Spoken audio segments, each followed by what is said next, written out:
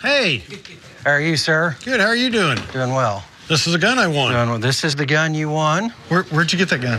I won it uh, How? on a raffle.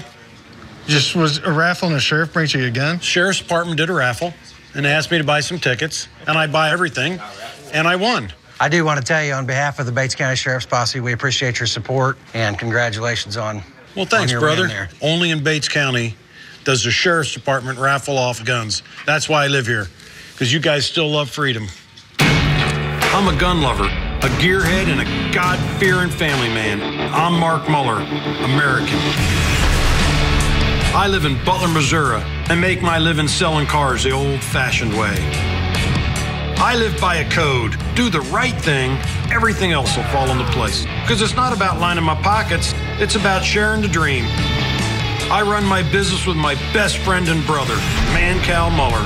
I live my life loud and love every minute of it. God, guns, and automobiles. That's as American as it gets.